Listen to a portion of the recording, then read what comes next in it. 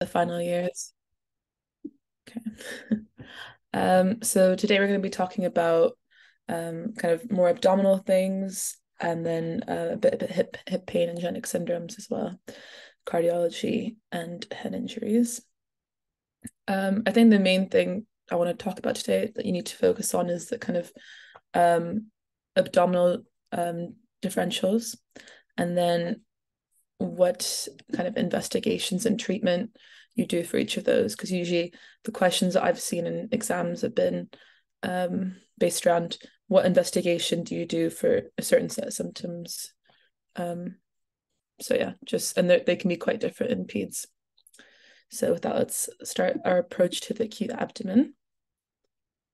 So um, first, history is very important, as always, in PEDS. Um, so um, since the child can't really tell you much, um, it's important to look at feeding. Um, so what have they been eating exactly, especially if they're smaller children? Um, it's really important to ask about like how many grams they've been eating, how much they've been drinking as well, um, because you need to assess their hydration status and um, if, if they're going to need anything extra, like any support. Um, and if they're vomiting. So the main thing about vomiting is you want to know um, the most important thing is is it bilious or non-bilious? So bilious vomit is green. Um, and the reason that's important is because um, if it's bilious, it usually means it's in the at least in the duodenum that the vomit is coming from, because that's where the gallbladder releases any bile. So if it's proximal to that, so higher than that, then it won't be green. And then also ask about volume, duration, and frequency. Um, again, frequency very important. Are they going to be quite dehydrated? Are their electrolytes going to be unbalanced?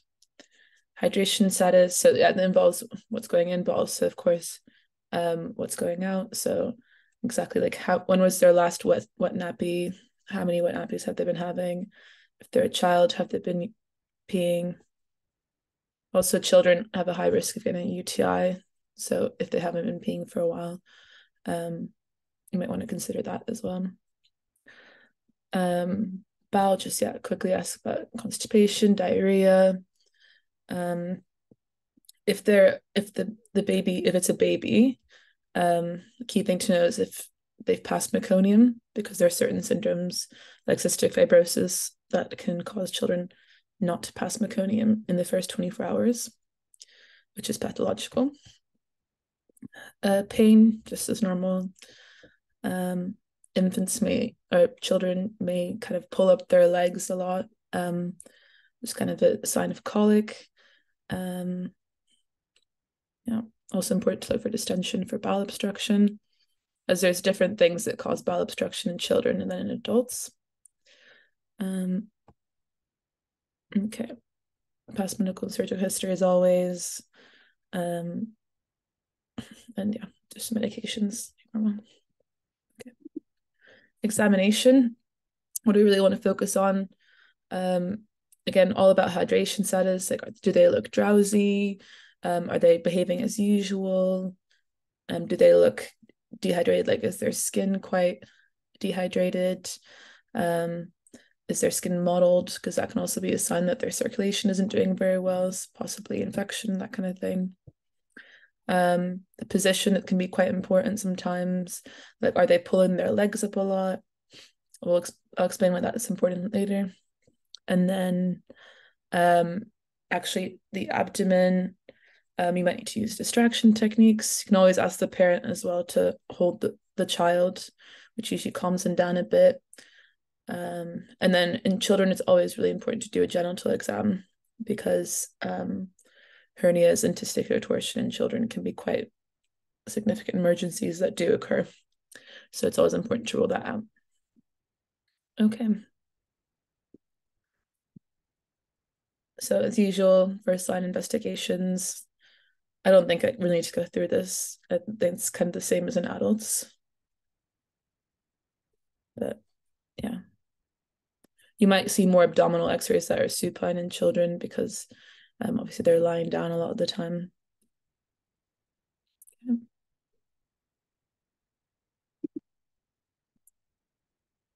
And then in terms of imaging, what, what kind of imaging we do for the acute abdomen. So the thing about in adults you use CTs a lot, but in children you don't want it's a lot of radiation to give to a child.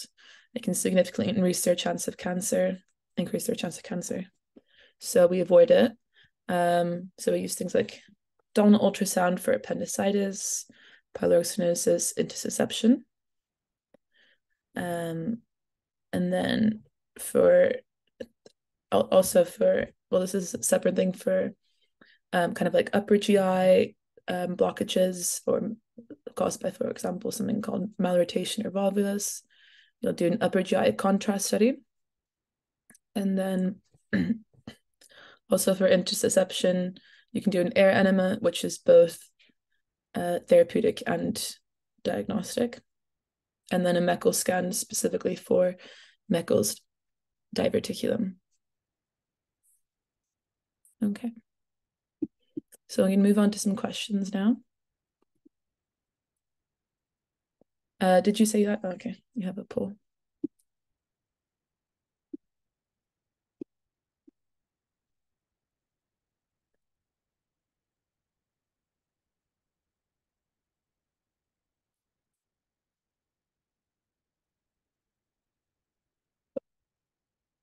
Go ahead and fill that out when you're ready.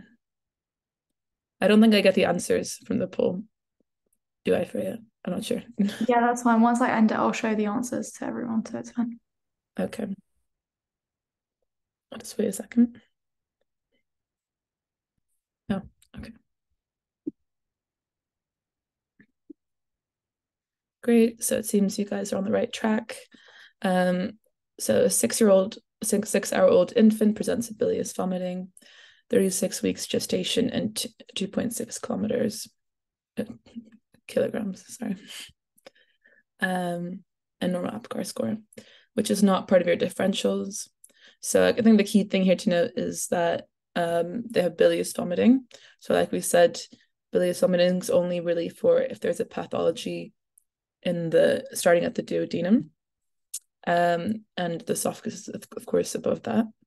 So you'd really have non-bilious vomit with that. So um, throppy white vomit with saliva and mucus for esophageal. Um, let me know if you have any questions about that, although you all seem to get the right answer, so that's fine. Yeah, again, yeah, just very important to recognize bile stain vomit usually requires some sort of surgical input. And then yeah, non-bilious vomit is more medical, except for pyloric stenosis, which we're going to talk about as well. Here's another question. give you some time because it's a long, long little blurb.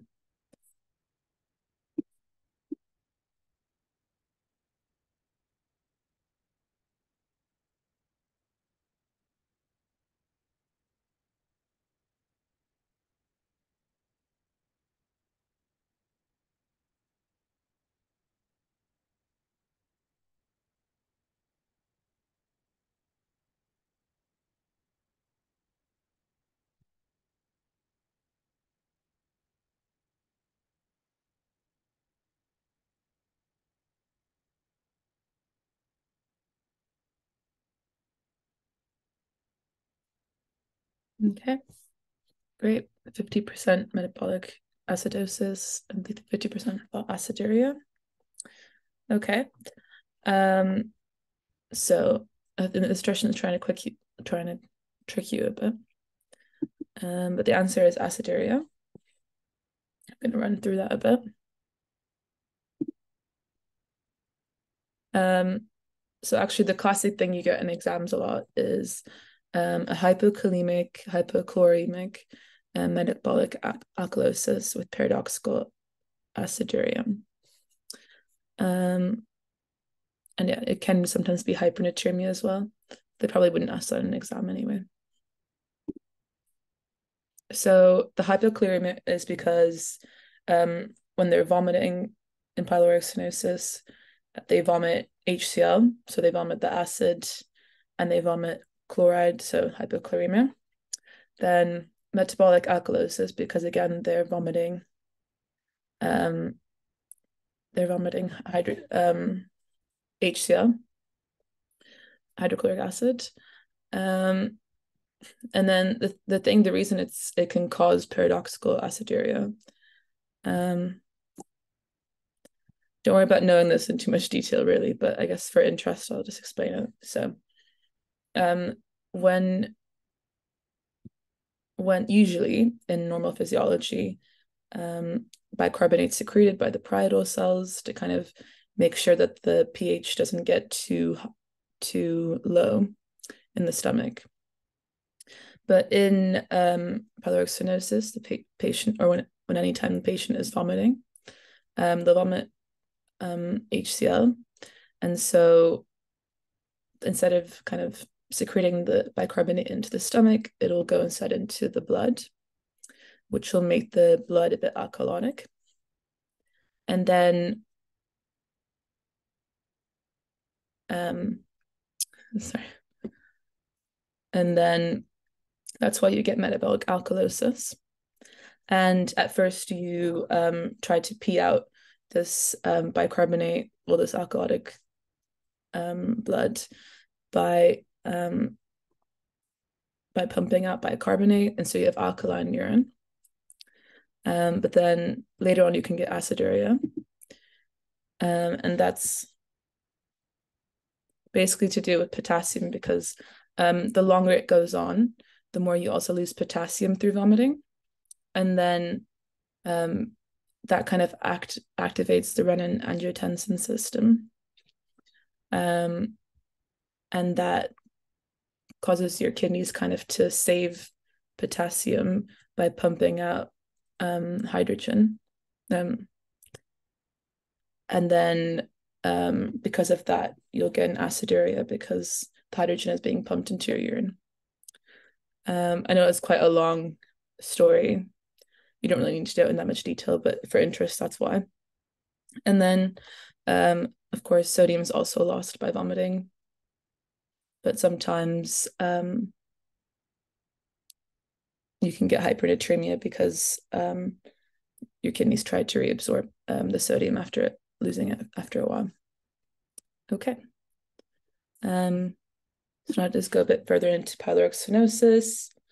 Um, so the key things to know in a question it usually be for an infant around six weeks, most often male. Um, there are some risk factors like maternal smoking, bottle feeding, viral infection, genetics. So it's more common in people who have a family history or an older sibling that's had it. Um, basically, what, what it is is the sphincter between the stomach and the duodenum is tighter than usual. And that's why you get these symptoms of when a baby eats, it'll be about half an hour after they eat the milk will try to pass from the stomach to the duodenum and then it can't because the sphincter is too tight. And that's when the baby throws up like projectile vomit because it's coming all the way from the sphincter and the sphincter kind of contracts and causes this projectile vomiting.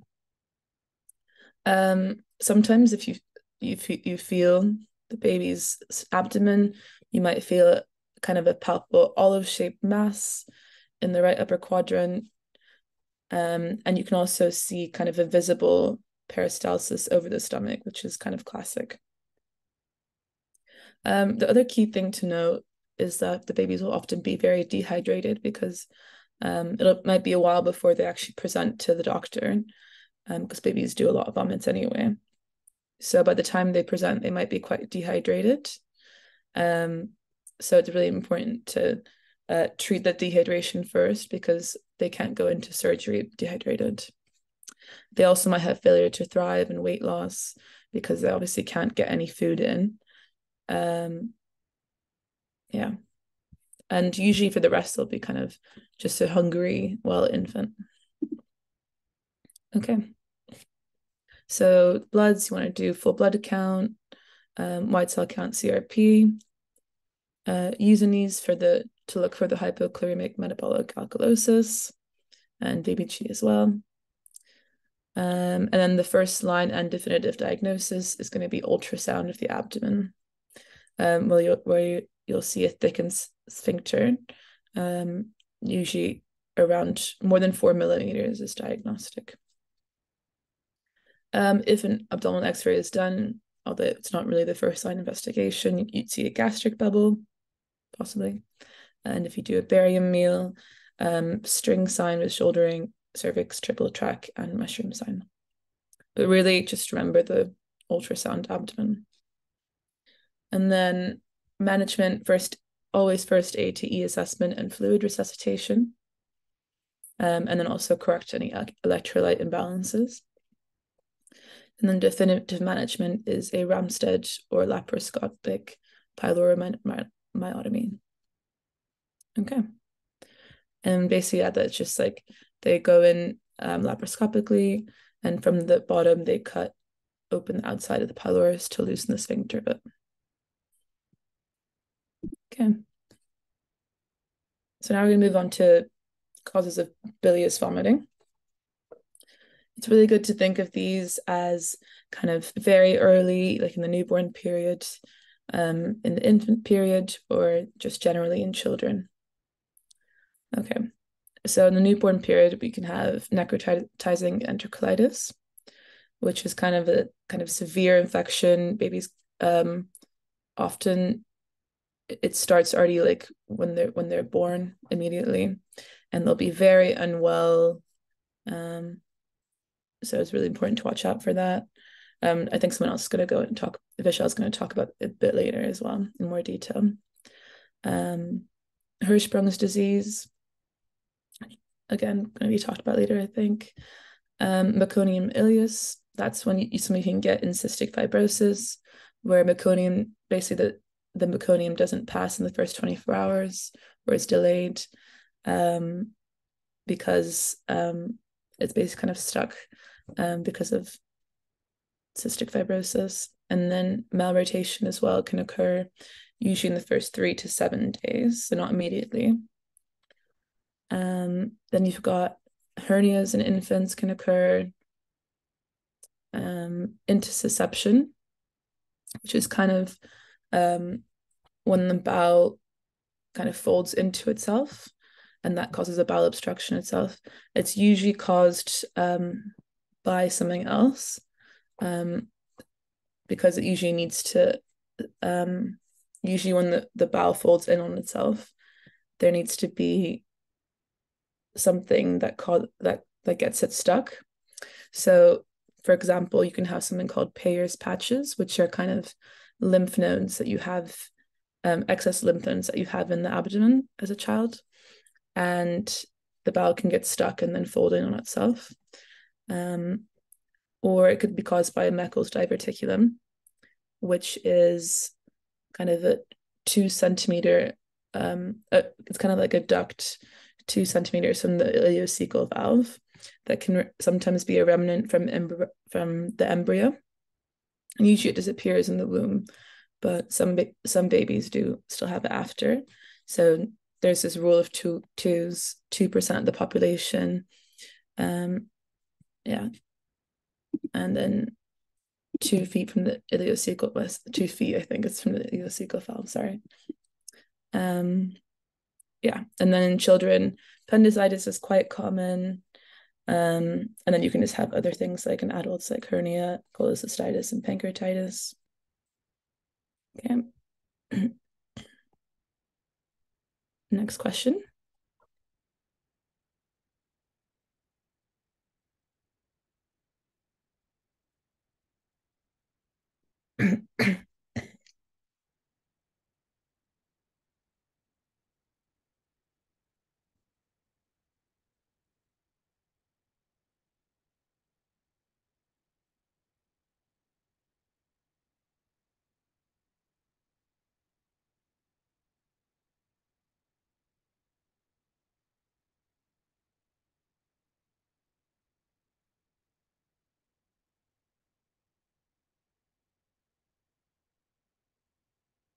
Yeah. Great. So a baby with bilious vomiting past meconium in the first 24 hours has mild abdominal distension. The abdomen is soft, no obvious abdominal tenderness. Currently eight days old, and paucity, so little air in the abdominal X-ray. Paucity of air in the abdominal X-ray. Okay, what is the most urgent investigation you want to order? So um, the answer is actually C. I think some of you said D. Um, so like I said earlier, um, we don't really do CTs in children because of the risk of cancer. Um, so you can almost always rule that out um, in those kind of questions. Uh, yeah, so the gold standard for malrotation, which is, is, is an upper GI barium study. Um, so what kind of points you to malrotation? So first of all, it's bilious vomiting. Uh, just first, can to just explain what malrotation is actually. So malrotation can be caused um, when there's kind of embryological remains um, that the gut gets twisted up in, and so often when the when the gut gets twisted, completely blocks the flow of any um, feces or anything through it, and then um, you get bowel obstruction as well, and that's kind of one of the causes of bowel obstruction, of small bowel obstruction in children. So usually with upper GI things, you want to do an upper GI barium study. Um, so bilious vomit, so that gives you a sign that it's a, it's a kind of duodenal issue.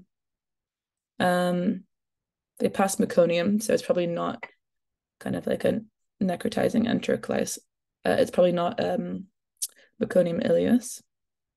They have abdominal distension. So that's kind of a sign of a bowel obstruction. Um, and eight days old is like like I said, malrotation usually occurs from three to seven days. So the age is really important in abdominal differentials. Okay. Um, and it's really important to recognize this condition because um, it can it can have a really bad prognosis if it's not recognized early. Okay. Malrotation with midgut vol volvulus. So malrotation is just kind of um, the the broad term we give for rotate for the rotating um, um, abnormality, but it can be caused by different things. Um, so it could be caused by kind of duodenal atresia or other things causing a twisting of the bowel. Um, yeah, it's very time critical. So what can happen if if it's not solved quickly is that it can actually necrose the bowel and the baby can get short gut syndrome.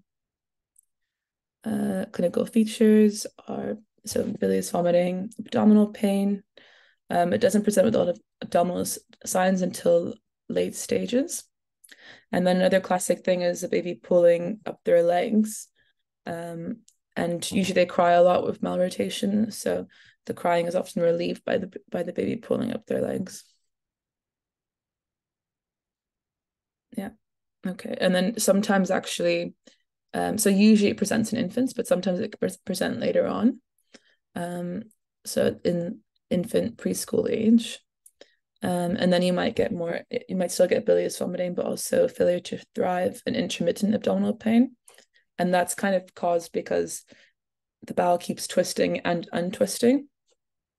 So it's not constant. And then investigations, yeah, just your standard investigations, full blood count. Um, white cell count is usually elevated in volvulus dehydration on U's and E's, um, VBG and ABG to look at lactate as well. The raised lactate is quite serious. Um, and then you might want to do a group and save and cross match because they might need surgery. So yeah, the diagnostic test is an upper GI contrast series, and you'll see a corkscrew sign, which you can see here. Um, and on X X-ray, you might see a double bubble sign. Okay. Uh, management, it's kind of, it's quite urgent. So you want to call, get the surgical team involved urgently. In the meantime, you do like any other bowel obstruction, drip and suck, and prophylactic antibiotics.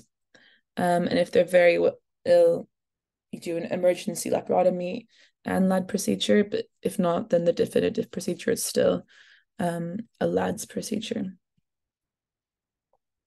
Okay. Um, and then last before we move on, just wanted to mention some other differentials that you might want to consider um, with kind of vomiting or abdo pain symptoms. So other things you can get are these cow's milk protein intolerance or allergy. So that's usually in young infants and presents, they usually have it before three months of age. Um, and there'll be a lot of drawing up their knees and crying. They'll have milky vomits, um, failure to thrive, and they might have allergic symptoms like urticaria or wheeze or something like that. Um, oh, I said failure to thrive twice. um, mesenteric adenitis, which is quite a common thing in children where they basically have lymph nodes in their abdomen that can get inflamed after a viral illness and it can cause kind of a pain mimicking appendicitis. So that's another differential to look out for. They usually won't actually be very unwell though, so that's how you kind of differentiate it from anything more serious. Um, primary constipation. So remember, constipation is actually very common in children.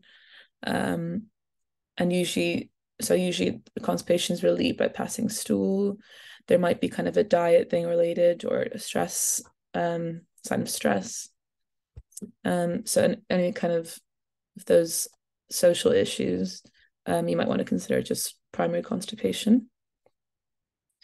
Um, GERD. So GERD can happen in infants a lot. Um, it's a very common cause of vomiting, and usually the vomiting is milky feeds very soon after feeds, um, and especially when they're lying flat.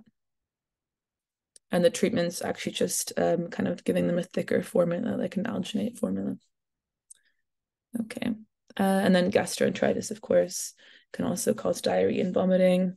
They might have fever, signs of being kind of unwell or septic um, and dehydration. So it's always assess the dehydration status. Okay, does anyone have any questions about what we talked about so far? And if not, um, please fill out the feedback form as well. That'd be great. And then I'll pass it over to Vishal.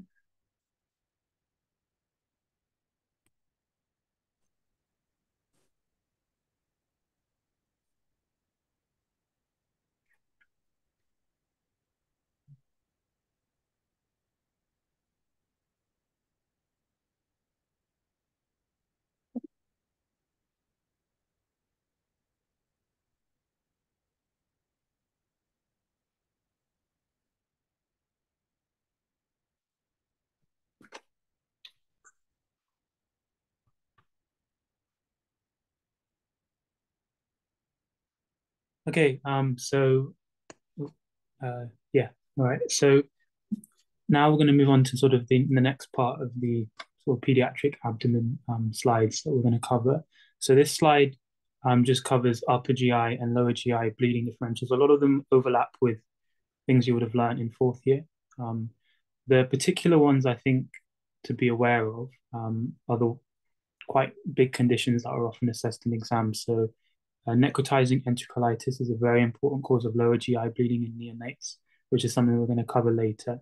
And it's essentially bowel ischemia with a superimposed infection. Um, and it's very common in premature newborns. Um, other ones to be aware of are malrotation and Hirschsprung's disease, which can cause ischemia and lower GI bleeding. Um, and hemorrhagic disease of the newborn is a very rare cause of lower GI bleeding, which is quite uncommon because it's prevented by giving vitamin K um, directly after. Okay. Okay. Um, but yeah, so um, this is something that you guys can read in your own time, but uh, that's essentially for neonatal bleeding. Um, but we'll just move on quickly to the history because I feel like that's something you guys can read in your own time as well. Um, okay, right. Um, again, with the history and the examination. Um, again, the highlighted parts are most important. Um, a lot of this again overlaps with fourth year. The key thing I think from here as well is to look for signs of child abuse, so non-accidental injury. Again, that's something quite unique.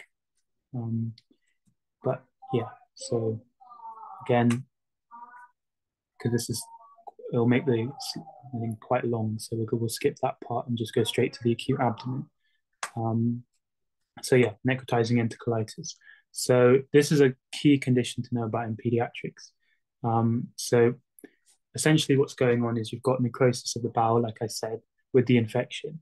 Um, and a key way that it can be diagnosed is actually, in contrast to what Marit was saying, you can do an ab- abdominal x-ray in neonates and you see a classic sign, which is pneumatosis intestinalis, which is a sign of essentially perforation of the bowel causing air in the extraluminal space. And you can see that on an abdominal x-ray. Um, but again, that's more for academic things and also for exam questions. It's actually very rarely done in clinical practice. Um, but the key things to know with necrotizing enterocolitis is that they need to be treated with bowel rest. Um, so sometimes they'll be given um, feeding through a, an NG tube, but they'll be very carefully fed and um, they'll have to be slowly introduced to feeds following birth. Um, uh, these are the, some of the risk factors that can um, essentially predisposed to necrotizing enterocolitis as well. Um, so a very low birth weight. Um, so you can see the incidence is much higher in, in very low birth weight um, and hypertension. So there's hypertension immediately after birth and then neonatal sepsis as well as another key one to be aware of.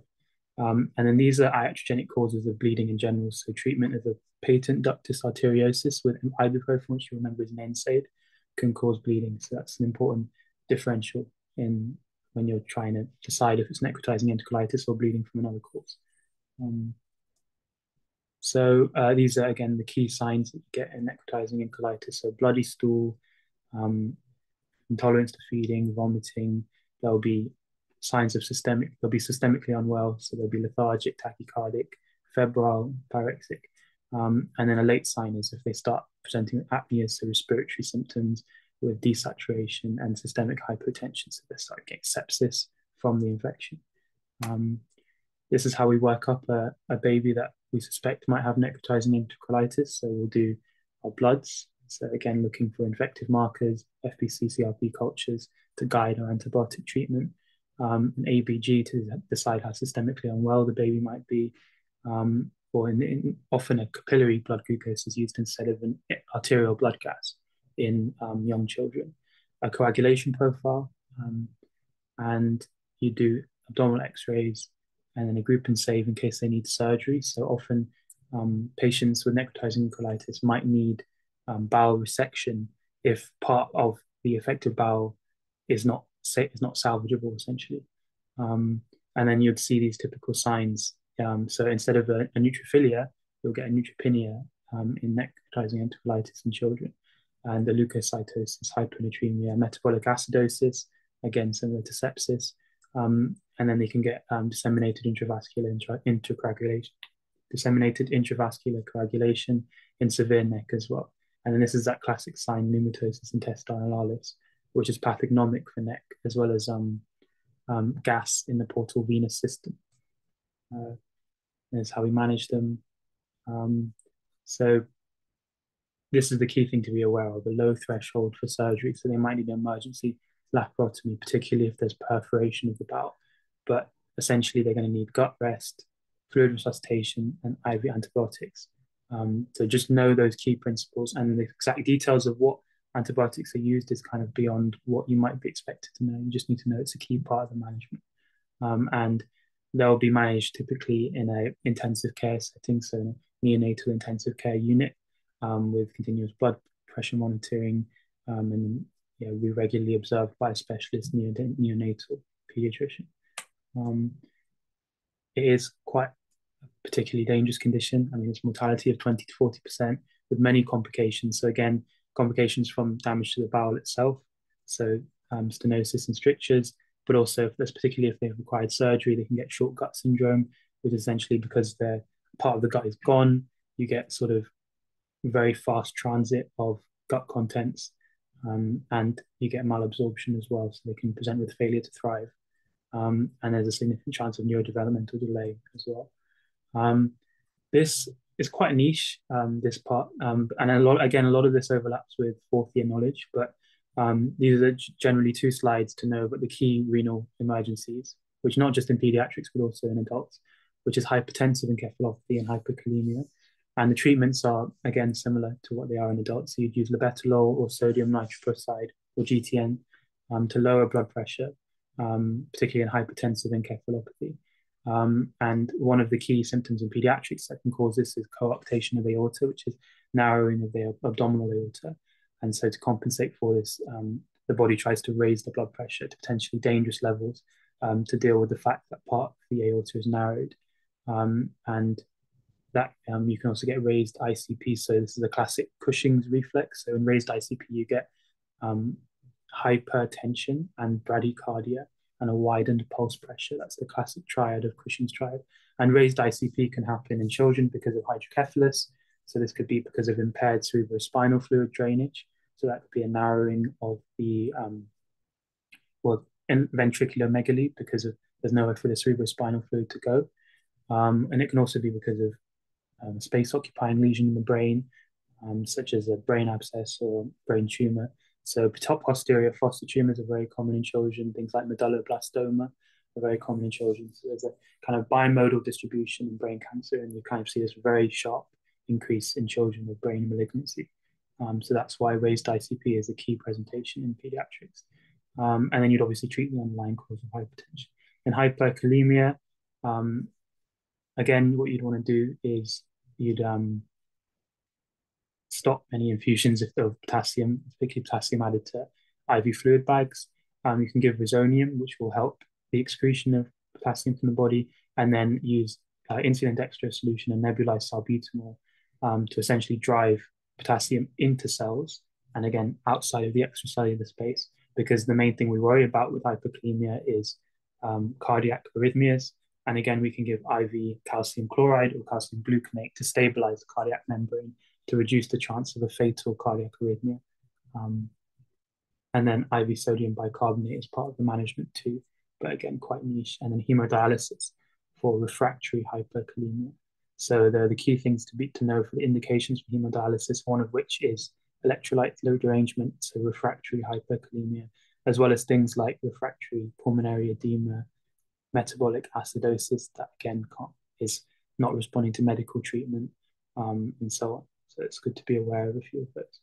Um, and that's the uh, end of my section. Um, sorry, Vishal, I think I don't know how this happened, but there's a section just missing from your bit. It's like about inguinal hernias and um, intussusception.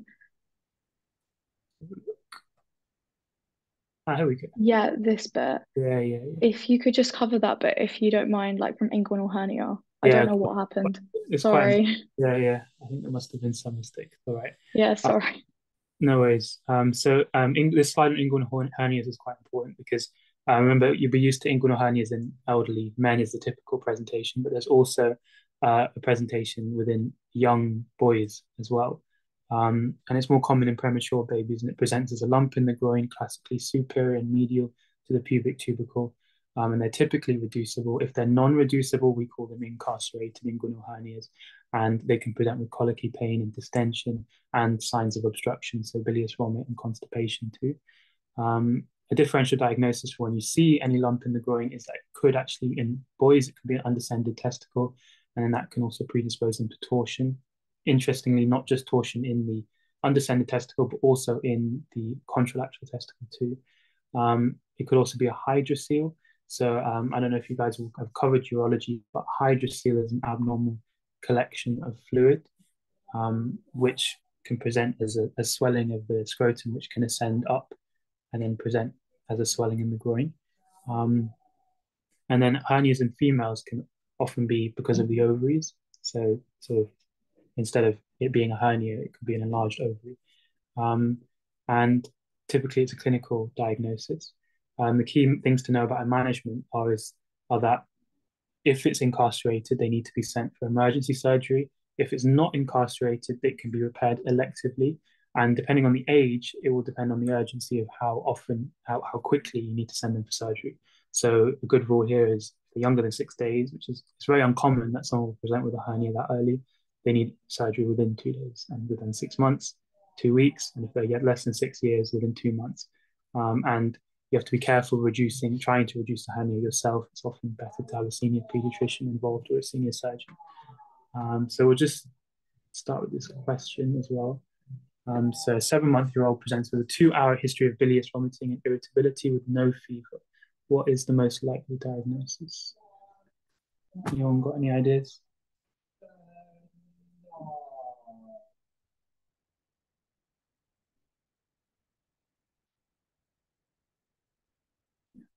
Just put a poll up.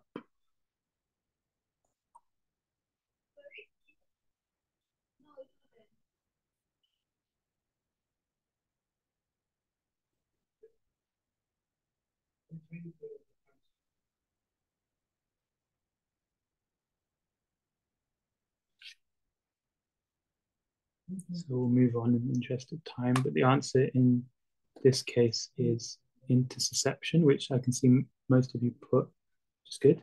Um, so this is um, a key presentation we will have bilious vomiting, and Marit covered a few of the key conditions um, that are options here. Um, but the reason that intussusception is the most likely in this case, and it can be quite difficult to tell. I know someone put malrotation, which wouldn't blame you for putting because there is bilious vomiting in an acute setting. Um, but intussusception is the mo more common, firstly, the malrotation.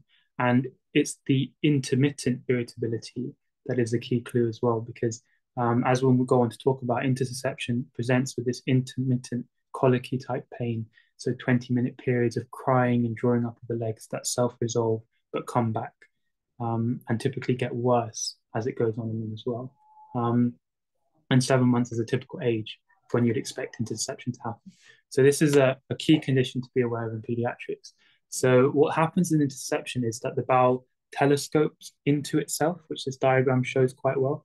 And it can sometimes just happen without any identifiable cause, but sometimes it happens secondary to another condition, which is what the lead point is referring to. So a lead point just refers to an enlargement or abnormality in the bowel, which then enables this telescoping to happen. So um, sometimes it can happen secondary to a gastroenteritis infection. So remember, rotavirus is a very common cause of gastroenteritis in children, um, as well as enteroviruses as well. And a lead point refers to things like a Meckel's diverticulum, an abnormal polyp, lymphoma, um, enlargement of the bowel from a large mass as well, and cystic fibrosis and HSP2. And the interesting COVID lymphadenopathy. So remember, we are talking about mesenteric adenitis. So that's um, enlargement of the lymph nodes in the abdomen causing pain.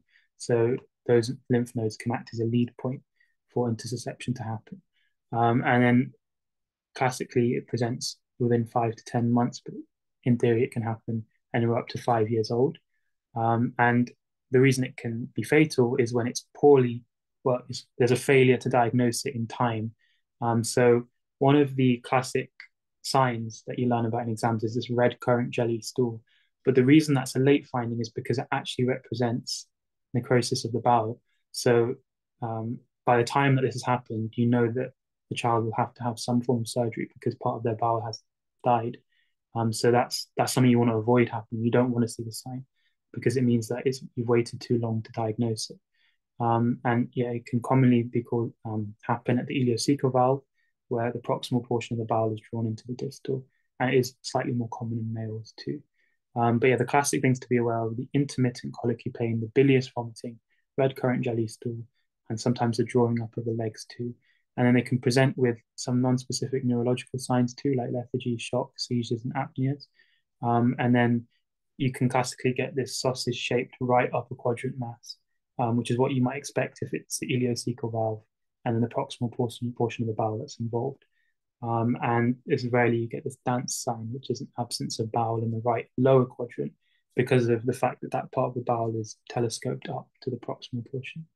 Um, so another thing to be aware of is that if there's a circulatory collapse or prodromal fever, it can lead people to believe that it's just a case of, of sepsis, but it might actually be intussusception. Um, Again, the red currant stools, colic and drawing up the legs. It's not specific, so remember that can be somewhat a way that intestinal malrotation could present to. And ultrasound is very sensitive, and you get this target sign, which we'll see later. Um, and you can do a contrast enema as well, to help diagnose it, but that's contraindicated if there's any signs of peritonitis, that's guarding or rigidity, um, or perforation or shock. Uh, you'd res- fluid resuscitate them, decompress the bowel, give antibiotics to cover for any infection, and you can manage them with air insufflation, which is essentially where you you push you pump air through the anus and it helps decompress the bowel and relieve the telescoping. Um, but often it can recur as well without surgery. Uh, so this is the classic sign you see. Um, to look like a donut because you've got two portions of bowel within each other. And then this is the other key thing to be aware of in pediatrics, which is appendicitis. Um, so appendicitis can present from any age potentially, but classically is above the age of five, and you get the um, periumbilical pain initially, which then um, moves to the right iliac fossa, low grade fever, anorexia, dysuria, and tachycardia. Um, and within two to five, it is much more difficult to diagnose because the symptoms are very non-specific and just present like a gastroenteritis. And sometimes you can get a high grade fever, um, you can get localized infective symptoms like perforation, abscesses, and elevated white cells and CRP. So it's not very obvious that it's appendicitis until they take them for surgery and then they can see. Um, and then a perforated appendix from laparotomy. Um, that can happen because of an undeveloped omentum, so they can get generalized peritonitis from the perforation. Um, and then these are other risk factors for developing appendicitis and immunocompromised following COVID infection and premature infants. Um, yeah, so it's the most common surgical emergency in children, and it's one of the most common in adults as well. Um, and it's largely a clinical diagnosis. Um, this is a classic sign that you can elicit. So in a retrocecal appendix, if you ask them to hop on their right leg, they won't be able to because of irritation of the psoas muscle. Um, you can do an ultrasound, which will help well, rule out any other potential diagnoses. So rule out torsion in the case of males or ovarian torsion in females as well. Um, there isn't much use to doing a bloods or an X-ray because you might get a raised CRP or white cells, but they're not specific for appendicitis. Um, and we rarely can do CTs in children, as Marit covered. Um, and then you can look for other potential viral infections which might have um, predisposed happened earlier prior to the appendicitis and might have led to the development of it, or be a differential for a viral gastroenteritis following an infection um, management, fluid resuscitation, decompression, antibiotics. Um, and sometimes it's better to delay the surgery, but eventually they are going to need an appendectomy. Um, and you can give them IV antibiotics prior to surgery, which is known to improve outcomes as well. Um, so often it's a difficult diagnosis appendicitis because it can be confused with gastroenteritis. Um, I mean, again, a lot of these symptoms overlap. So abdominal pain and fever and diarrhea, you might get in gastroenteritis. And another differential is UTI. Um, so because of the irritation in the appendix, it can irritate the bladder and cause um, well UTI-like symptoms. You can get hematuria and you can get raised white cells in the urine. And you can get the development of a localized pelvic abscess, which can cause tenderness. Um, and then again, Meckel's diverticulum in under two year olds can be a key differential, like appendicitis as well. Um, and then paralytic ileus is is a lot rarer. So this is perhaps something that's less important to be aware of, but um, often it's preceded by gastroenteritis infection um, and giving antispasmodic medication, which typ might typically be done for like IBS type symptoms, um, can often exacerbate a paralytic ileus. Um, and what you often see in a paralytic ileus is a distended um, abdomen with generalized tenderness because it's an obstruction. It's a functional obstruction. So there's nothing particularly blocking the bowel apart from the fact that it's not able to um, peristalsis, it's not able to perform peristalsis. Um, and you can get generalized small bowel, large bowel distension on the abdominal x-ray. Um, and you, you kind of have to differentiate it from an intestinal obstruction that might have a an organic cause, so such as an appendicitis that's perforated or a mass or a stricture in the abdomen. Um, and then you manage that with gut rest and a flatus tube, which is a tube that's inserted through the anus to help drain any of the bowel contents to decompress the colon and reduce the risk of perforation. Um, these are some quick notes on pancreatitis and cholecystitis, um, which again are quite rare in children, but in theory can still happen. So cholecystitis referring to an infection of the gallbladder, which is more common in women, and some of the key um, causes of pancreatitis. The key ones to be aware of are gallstones and ethanol, which are responsible for about 90% of pancreatitis. And rarely you get all the other causes such as trauma, steroids, autoimmune, and then drugs as well, like cotrimoxazole and chemotherapy. Um, and then we've covered this part. So that is the end of my bit then. So thank you for your attention. Um, if you could send some feedback, that'd be great. And then I'll hand over to Freya to do the last part. But thanks.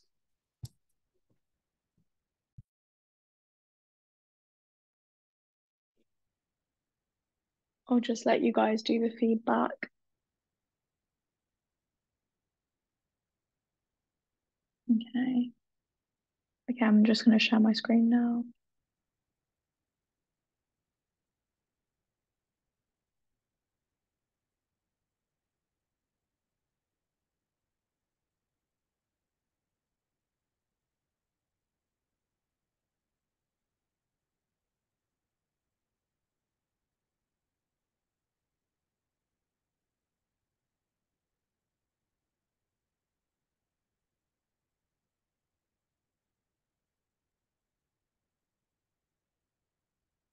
Okay, can everyone see the screen? Okay, I hope you can anyway. Okay, so I'm just going to speak firstly about endocrine emergencies. So um, there are three main things, three main types of endocrine emergencies you kind of want to think about. Uh, the first being um, hypoglycemia, um, when your glucose is obviously too low, and then the second being um, when your glucose is too high, and it can manifest as DKA. And then the last one um, being um, an adrenal crisis when you kind of have like a steroid mishap.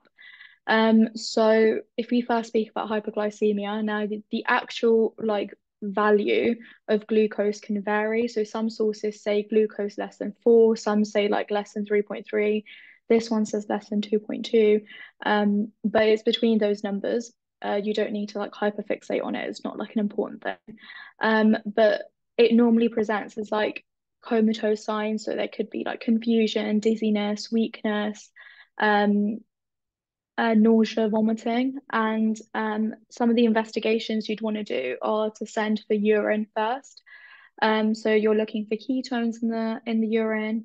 You can also do bloods looking at insulin and more directly looking at C-peptide because C-peptide is released with insulin in most cases.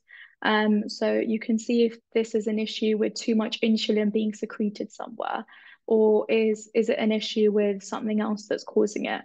Um, and the reason you sometimes do like cortisol and growth hormone as well, um, you'd look for values for that in the blood, is because they're associated with glucose. So high levels of cortisol normally indicate high levels of glucose. And if there are lower levels of cortisol or aldosterone, for example, in the case of something like Addison's disease, that would mean that there is it can often manifest as hypoglycemia as one of its first presentations. So always keep that in the back of your mind.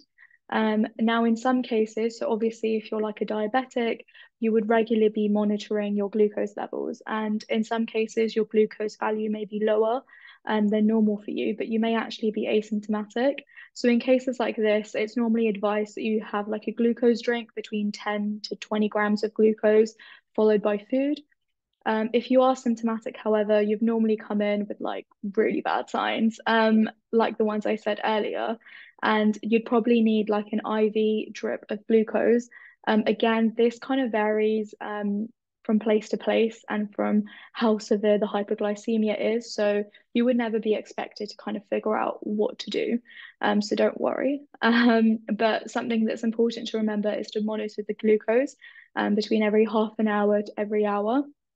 And you'd also, I guess, for like refractory cases where glucose is still not reducing, um, it's still not increasing, sorry, you can give things like glucagon um, to help inc increase the um, glucose.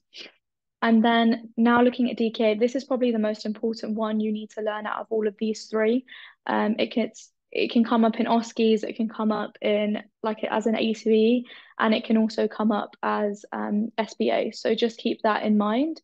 And um, one of the most, so obviously the way it normally presents is through um, hypoglycemia. So when your glucose is too high and you can also have ketones in your blood, and this eventually causes like an acidic picture in your blood to happen. Um, so in order to fix it, um, you would want to correct the dehydration over 48 hours. So we'll talk a little bit about how to correct dehydration because I think it's really hard. Um, like fluids are hard anyway, but when you are talking about maintenance fluids and also like correct like de like rehydration fluids, it gets really confusing. Um, so we can go through that later. And then the way to kind of fix DKA is to give IV insulin. Again, this changes on from place to place. Um, but just make sure you remember to give potassium if you're like prescribing this in like an A to E alongside your insulin because um, insulin causes hypokalemia. Um, so that's why we need to supplement with potassium. And you also need to correct whatever you're doing really slowly um, because if you add too much fluid all in one go, because all these patients with DKA are essentially very dehydrated. And if you correct any dehydration really quickly, um, what it what it means is that when someone's dehydrated in their blood, they don't have a lot of water in their blood, obviously. Um, so the concentration of all your other like electrolytes would kind of be higher relatively. Um, so that means that when you are hydrating someone with lots of water, that's going to spike quite quickly if you're doing it over a really short space of time, which is why we say we need to correct the dehydration over 48 hours. Because if you do this over a short space of time, there's going to be a really sharp like concentration difference between the um, concentration of, of water, for example, in the blood compared to outside. And what it will essentially do is it will cause water to shift from inside to outside because the inside of the blood will be quite um, concentrated with other electrolytes and then it will just quickly shift outside. So essentially, you're trying to help this patient who's dehydrated by giving them more water, um, but all that water is doing is going straight from the blood and into um, surrounding spaces. And this is really problematic in the brain because it can cause cerebral edema, which is um, a big concern. So you want to avoid that, and you can monitor for cerebral edema normally using one-to-one nurses. They'll be looking for like neuro signs and um, looking at their GCS and stuff like that. But you really want to avoid that. And then adrenal crisis, I normally remember this as like um, Addison's disease on steroids because it is kind of about steroids. Um, so in Addison's disease, you don't have um, as much aldosterone because the body is kind of attacking the aldosterone. And what aldosterone does is it causes the reabsorption of sodium into the body and it increases um, potassium. So if you have um, less aldosterone, that would mean that you would have low sodium and higher potassium, which is often how an adrenal crisis can present. Um, and like I said before, Addison's is associated with low glucose as well because of all the other hormones um, it kind of influences. And that's why you can also have hypoglycemia. So adrenal crisis and hypoglycemia kind of go hand in hand. Um, and you can also have other signs of shock. So this is obviously like a really big emer emergency, and you'd want to resuscitate them. Normally, this is done with like IV hydrocortisone because you're not you're trying to supplement um, the steroids that they don't really have. Um, and it can be triggered by like a cough, a cold, surgery. It can be triggered by a range of things. Um, because in all these circumstances, the body needs more um, steroids than it actually get is having. And because it's not having those, it goes through the symptoms of like an adrenal crisis. Um, therefore, you need to give them steroids and in quite a lot of them. Um, so normally the patient is given IV hydrocortisone. They're always admitted and uh, sometimes oral fruit, that's spelt wrong, but cortisone may be given afterwards as well um, to uh, buffer their period until they get normal, basically if you have any questions at any point, feel free to talk like just ask. There's only a few of you left anyway. Um, so this the next few slides are really just for your own reference. I'm not really going to bother going through them properly, but these are like colored, like color coded. So if it's red, it means there's like a high incidence in this population. So it's based on ages. So it's just a summary of all the kind of abdo conditions that can come up.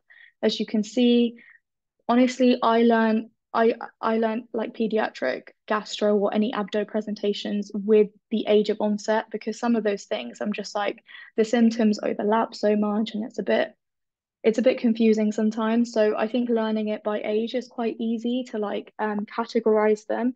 And then you can think about, okay, if they're an infant, it's really between these two things. And then you can think about like, okay, so what differentiates intussusception and malrotation? And then you can hopefully, it can guide your answers a bit better. So yeah, you can use these at the end when you get the slides. Okay, so talking about fluid therapy in children.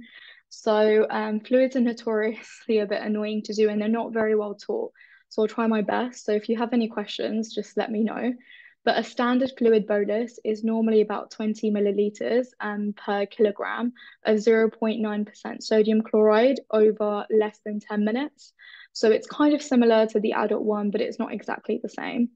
And um, you should be using small fluid boluses um, of about 10 milliliters per kilogram if the baby's basically small. So if they're a neonate or if you need to correct whatever issue has happened really slowly because you're worried about things like cerebral edema, like in the case of DKA that I already explained, then you'd be using like a lower, um, like a small, like a, uh, which a shallower um, rate basically. And if the child is in shock, you don't subtract like the resus fluids that you've used from their maintenance fluids. So anytime a child comes in and they need fluids of any sort, based on their weight, fluids are calculated, which we'll go through in the next slide. Um, if they are in shock and they've needed resus fluids, that means that they need more than their maintenance because something's happened to them. So don't subtract your resus fluids from the maintenance and then prescribe and then like prescribe the remaining maintenance fluids for them. They will still need their baseline of maintenance because they've been clinically dehydrated and they are like very ill. So just remember that. Okay, so the way it's calculated is, to be fair, fluids given via IV is kind of only reserved for kids who are not drinking um, enough because they're vomiting or because they're nil by mouth for some reason. Um, and the way it's calculated, I think it's a bit easier to remember than adults because adults to me is just like a bit like a guessing game. Um, I still don't properly get it, but in kids, there's like a set rule. So it's based on their weight and it's split up. So the first 10 kg of a kid's weight, you're using the rate of giving them fluids 100 milliliters per kilogram per day. And then the next 10 kg um, would be 50 milliliters per kilogram per day and then the remainder of the body weight. So anything that's 20 kg plus will be 20 milliliters per kilogram per, per kilogram per day. And then you add all those up and then you get a total amount of fluid you need to give them in 24 hours. And then you divide the total amount by 24 to get like a rate of milliliters per hours. Um, so yeah, I like I already said before, in cases of like where there are electrolyte issues, then replace fluid slowly because of cerebral edema. And um, normally in kids, if the fluid is like 0.9% saline, then it's usually given with dextrose. I'm not exactly sure why. Um, and the U's and E's need to be closely monitored because of all these cerebral edema issues. And um, usually it's given in like 500 milliliter bags. Um, it's it's kind of funny because you go through all these calculations to calculate the exact amount of fluid they will need. And in most cases, you'll have to either round up or round down because bags are usually just given in 500 milliliters. So you're not going to be giving like 10 millimeter like injections to make it exact on the dot, if that makes sense. Um, but yeah, just remember that. So for example, um, would any of you like to just like calculate how much a 10 kg, 27 kg child would need, or should we just go through it? If none of you say anything, I'll just go for it in the next like two seconds. Okay, fine. Um, so to calculate their total daily requirement, so like I said before, the first 10 kg, it's 100 milliliters per kilogram. So that's 10 times 10, giving you a thousand. So that's fine. You've got the first 10 kg sorted. You need a liter for that. The next 10 kg, you need, it's the rate is 50 milliliters per kilo. So that's 50 times 10, which is 500 milliliters. So great. For the first 20 kg, 1.5 liters sorted. And the remaining 7 kg, this is um, 20 milliliters per kilogram per day. So that's 20 times seven because what you have left after you've done 20 kgs from 27 is seven kilograms. And that's 140 milliliters. So if you add all of these together, you would get that total. And that's the amount of maintenance fluids they'll need in a day. And then to find out the rate, you divide that by 24. So it's, it's quite nice, but realistically, you won't be giving this exact amount um, like written down prescribed. I remember one of the teaching fellows taught us that you can write the bag. So when you prescribe this, you'll probably prescribe this as um, either three 500 milliliters of ba bags of um, like whatever solution you're using. So sodium and then added dextrose or whatever, or a combination of um, two sodium, and two dextrose and one sodium. Um, but so you'd be a you'd be getting a total of 1.5 liters, even though this is the exact they need. But when you're writing the rate, you'd write that as 68 milliliters per hour. So what that means to like pediatric nurses basically is that you've got the right rate. So you still need to do all these calculations, um, but they'll figure out that when they set it at that rate, when they set the drip thing at that rate, um, they will obviously need to top up as well. Um, so the rate is the most important bit to calculate because that's specific to the weight of the child. The overall figure you get, that will probably have to be rounded up or rounded down when you prescribe it. But when you prescribe it, the rate is really important because that's the thing the nurses use um, to make sure that they're getting enough fluids, if that makes sense. If you have any questions, let me know. Okay, now tackling the annoying bit. So a kid's coming to you, they're DKA, they are 27 kilos and they are dehydrated. And now you need to calculate, okay, so they need their maintenance fluids, but they also need some replacement fluids. So how much fluids do they actually need over 24 hours? So this is the equation you use. So it's weight times percentage dehydration times 10. So in some, in many cases in an SBA, they will say um, like the exact percentage that they're dehydrated. So then it's really nice. But sometimes they'll just give you the signs for what level of dehydration they are. And then you kind of have to figure out, okay, is this mild? Is this moderate? Is this severe? So there are th three categories, like I just said. And then if it's mild dehydration, that means they're less than 5% dehydrated. If you think the question is kind of suss out that they're like mildly dehydrated, then use 5% as your percentage dehydration number. If it's moder moderately dehydrated, um, it's between 5 to 10%. Now, you can either use 7.5, which I have seen quite a few times, um, or you can go for like the worst case of dehydration, which is 10%, and use that. And if they're severely dehydrated, normally the number will, will be there because you can't use, you can't just guess it's 10 because that's underestimating how de dehydrated they are. It'll probably be more than that. So how do you actually do this? I think the next slide, no, did it go through it? Okay, so here, let's go through this first. So a child um, that is weighing 27 kilos, that is moderately dehydrated, how much replacement and maintenance fluids will they need? So we've already calculated the maintenance fluids to be um, 1640 milliliters per day. And now um, the replacement fluids is, well, they're 27 kilos. So that's weight times um, percentage dehydrated times 10. So it's 27. And let's take the higher boundary of 5 to 10%. So let's take 10%. So 27 times um, uh, 10 times 10. So that's 2,700 milliliters per day. So that's how much replacement fluids they need on top of their maintenance fluids. So this kid is having a lot of fluids. So then you'd add both of them up and then you divide by 24 to get you the rate. And that's how you calculate um, replacement fluids on top of maintenance fluids. Yeah, I hope that makes sense.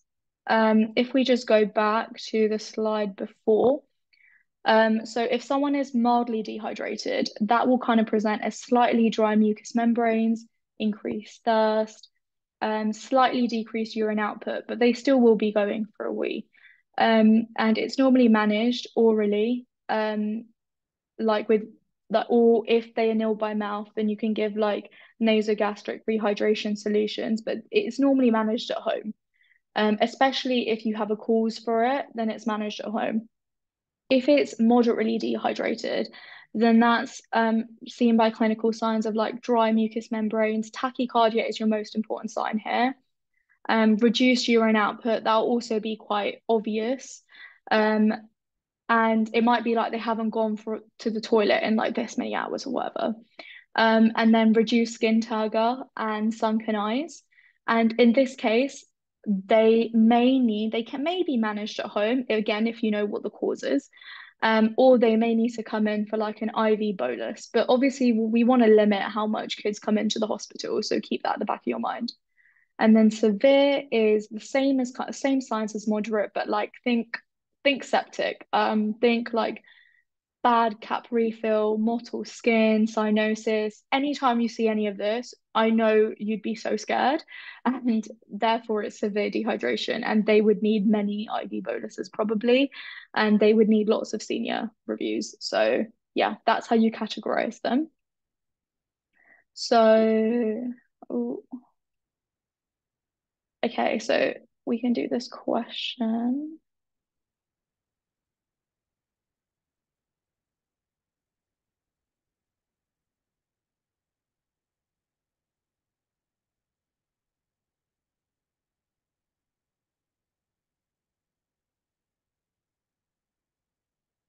You guys can click anything. If you don't want to do the SBAs, it's like as a poll, it's fine.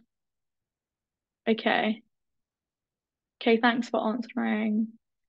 Okay, so I thought this was actually a really hard question. I think it's taken from um the oh what's a handbook? No, not the assess and progress. And you know those questions are quite hard. Um, but basically what you kind of are looking for here is, sorry, my, okay. The answer is actually C. Um, and the reason for that is because if you go back to the question, so it's a one-year-old boy, he's had diarrhea, he has vomited twice, he's not passing urine for the past six hours, he's thirsty and restless, dry mucous membranes, eyes sunken, um, skin turgor reduced.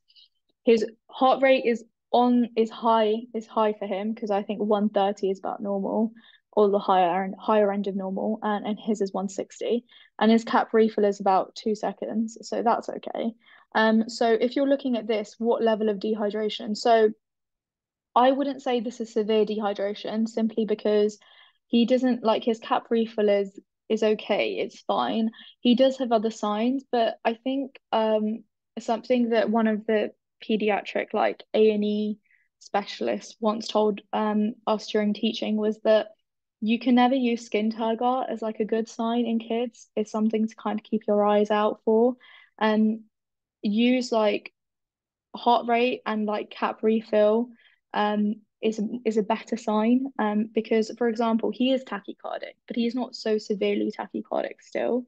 In kids it's they their heart rate can go much higher um, so I don't think this would be a case of severe dehydration. I don't think it's mild either because he has not pot like peed for the past six hours. So I don't think it's mild. So that leaves you with moderate and then what to do. So I don't think D is actually the like it's not that bad of an answer because he has vomited twice already and there's nothing telling you that he isn't vomiting currently. So in that case, if he's vomiting, then you know, maybe it's best to give him IV um saline, but it actually says oral because I think you have to trial um oral first um because you know the cause. It sounds like gastroenteritis, so you'd want to try oral first. You want to try and keep the baby at home, and then if really needs to be, you'd bring them in. Um, but it doesn't really make sense to bring kids in for just gastroenteritis unless they're like so severely dehydrated they can't tolerate any fluids. Um, but that's not necessarily the case here. But I do think it's a really hard question, so well done for trying it. Okay, and then moving on to the next SBA. So we're kind of done with fluid stuff now. And we're going on to hip really quickly.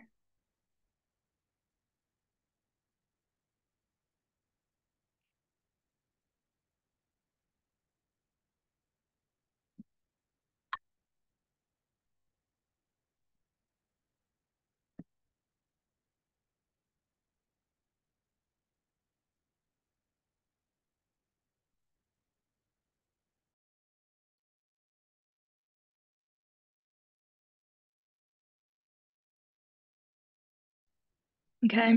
Um, I really don't like hip stuff. Don't really like anything ortho, but um, the, the answer to this, thanks for thanks for um putting your answers in, guys. So the answer is um avascular necrosis of the femur, of the femoral head. Sorry, not femur. Um, and just go through this. So this this stem is trying to get you to say it's Perthes disease. Um, so the first one, displacement of the F, of the femoral head, that's um SUFE. Uh, you know what? Let me just go to this slide because it explains it all. Okay, so these are all the hip conditions. Um, I the only way I really learned them was categorizing them by like one key feature, um, which was really bad. But like SUFE, they normally always mention it's a boy that's obese, um, and he's around the age of like 10 and 15, and that's like a big thing. And then um, I always remember that for the X-ray for SUFE, you also do like a you do a normal X-ray, and you also do like a frog leg X-ray, which I think is really memorable because when else do you hear frog legs in medicine? Um, but yeah, so and that's more for SUFE. And then Perthes disease. So this is um, commonly occurs between the ages of four to eight, and it's basically avascular necrosis. So because the femoral head has like posterior blood supply, um, it can easily get affected. Um, and if there is necrosis of the femoral head, it basically kind of chips away at the at the bone, and that's why you get flattening of the femoral head on an X-ray and it causes like progressive hip pain and stiffness, and then you get reduced range of motion.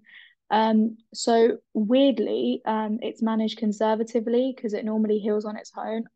I don't, I don't know because avascular necrosis is normally seen as such like a big thing, but for this, apparently, I don't really know. But um, later on in life, they may need like a total hip replacement, which makes sense because if they're like femoral head is getting flattened, then it won't be able to work as well. So that makes sense.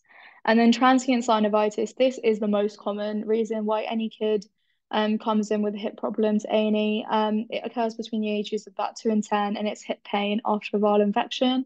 And it's usually a diagnosis of exclusion. You don't need to do any tests for it. But if you're excluding stuff, you probably will end up doing like an x-ray just to make sure. And it's managed conservatively. And then septic arthritis, this is really no different to adults. Um, it's got basically the same signs fever, irritability, refusal to bear weight. And like in adults, um, Staph aureus is the most common cause, at least I think.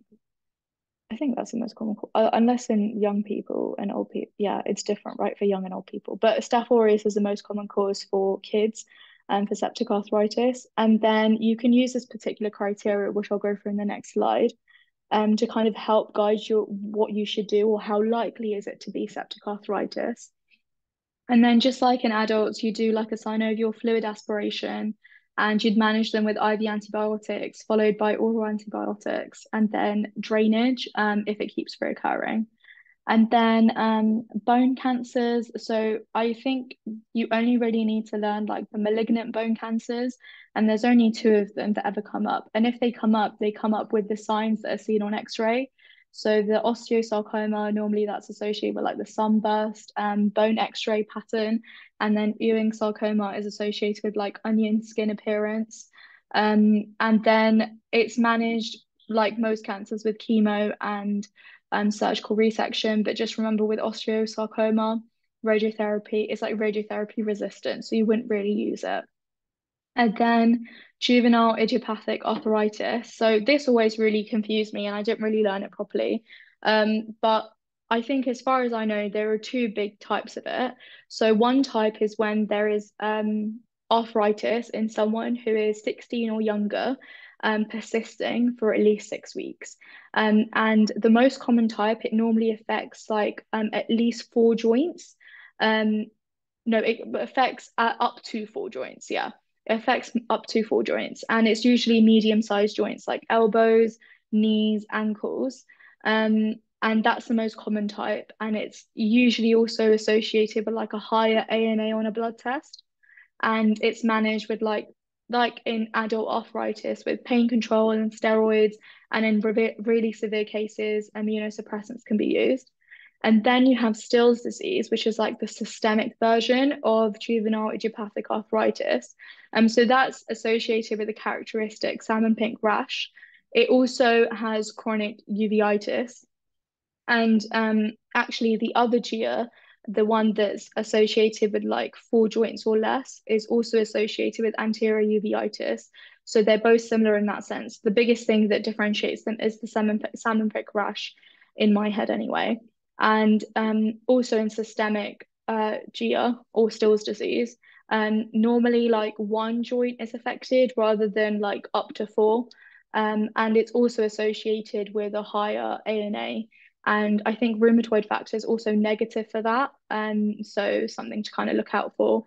Um, but this is really niche stuff. They won't really ask you about this. The things that they love asking are SUFE and SBAs, Perthes disease, and they love asking you to kind of like differentiate is it transient synovitis or is it septic arthritis? Um, yeah. And so this is a criteria that you can use for septic arthritis. Um, so wait, was I sharing the poll the whole time? Oh no.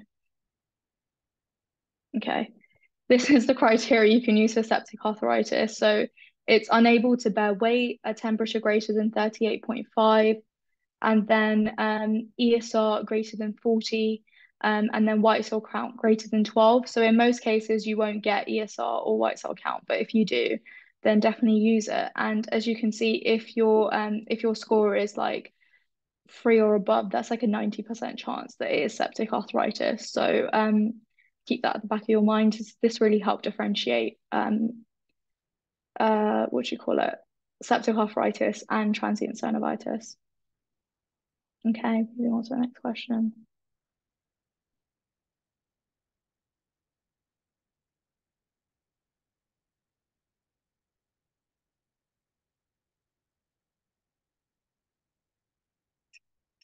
Perfect. I won't keep you guys for too long. You got the right answer. So the answer is trisomy 21 and it's a non-disjunction anomaly causing trisomy 21. Um, so this, what they're trying to say, what is the diagnosis? It's most likely Down syndrome and that's associated with this genetic abnormality.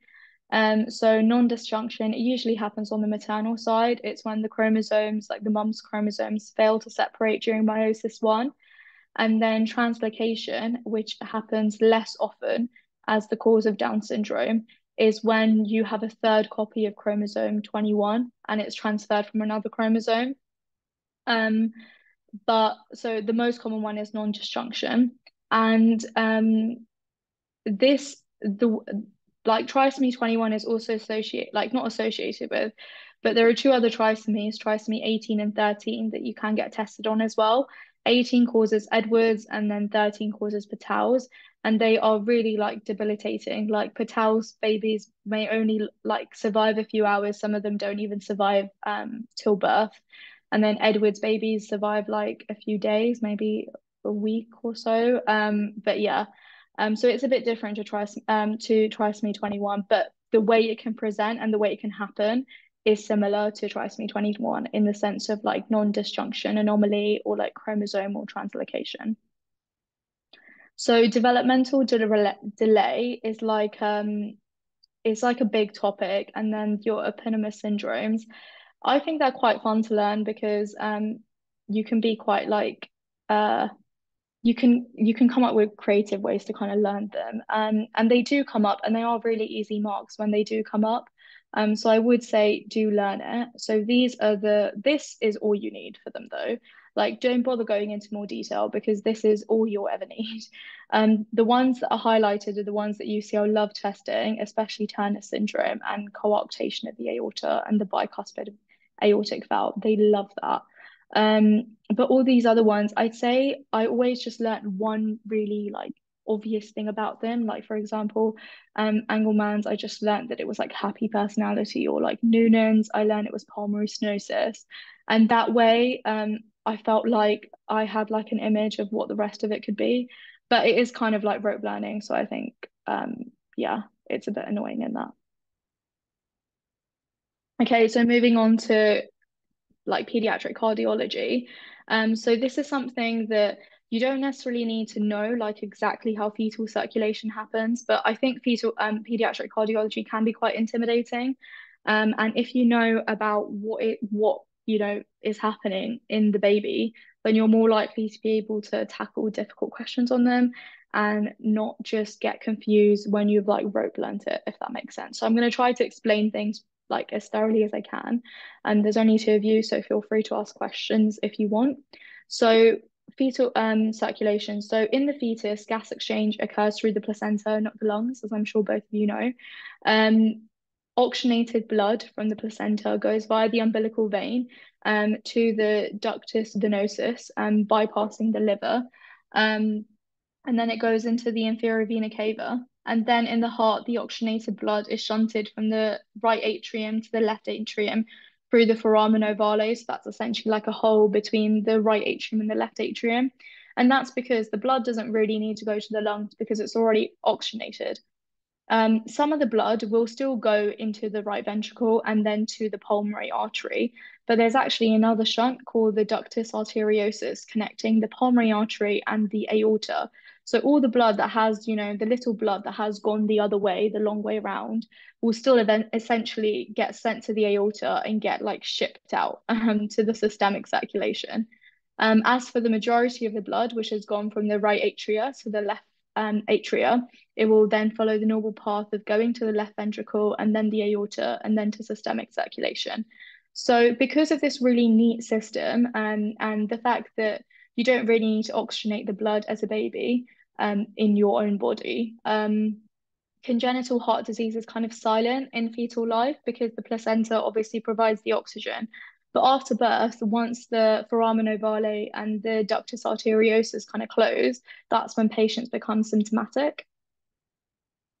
Um, so in terms of like a like peds cardio history, um, it's really they're re they're really sick babies. Most of the time, you you won't really be taking a history from them because you it's unlikely for you to kind of see them unless you're like at GOSH. Um but they are quite they're very ill and most most of them um once they're born the problem's already detected.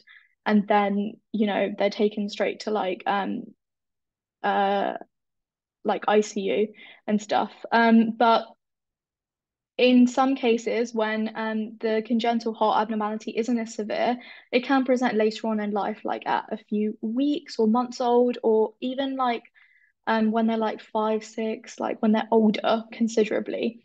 Um, so the way it can present and when they're younger, more so, is when they're irritable, there's decreased levels of activity. They often cry with feeds, and there's often decreased feeding as well and there's poor weight gain because of that and they all they kind of have fast regular breathing and that's to do with like um the way co2 is kept in their body. And then sometimes um, over time some issues can result in them becoming cyanotic so that's why there are skin changes um, and in older children it may present as like um, exercise intolerance. So for example at pe they struggle to do any exercise or um, chest pain and palpitations also quite common and also syncope. Um, so don't forget that. And then physical findings would be cyanosis, high respirate, increased work of breathing when they're a baby, um, high heart rate, murmurs, uh, pulmonary edema, so like heart failure signs, and then also fatigue as well. Okay, so going through acyanotic heart disease. So there's three main types I would say you should need to know. Um, there's ASD, so that's atrial septal defect, VSD, that's ventricular septal defect, and then PDA, that's um, patent ductus arteriosus. So first on ASD, so ASD, so there's a patent um, uh, foramen ovale. So that means the connection between the right atrium and the left atrium is still present and after birth. And it can kind of come up as um, clinical signs of like high respirate, poor weight gain, recurrent chest infections. And when you listen to the heart, you can hear a soft ejection systolic, wide, fixed split S2. So obviously that's a really big mouthful. So let me try and break that down for you guys. Um, so the reason why you have um, a split S2, So first of all, in S2, that's when your pulmonary valve and your aortic valve close. So um, the reason why it can be split is if one of either of these valves is closing after the other one. In this case, it's actually your pulmonary valve closing after your aortic valve. And that's why there's a split um, of, of the S2, because normally they both close at the same time. But in this case, the pulmonary is closing after the aorta, and therefore it splits them up.